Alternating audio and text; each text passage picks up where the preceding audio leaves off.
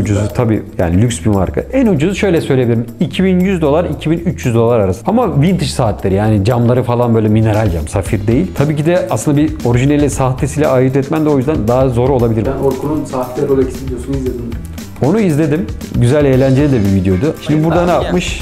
Oradaki Abi, insanlara önce bir gelsin. aslında soruyorsun Abi, yani izin istiyorsun yani video çekebilir miyim diye.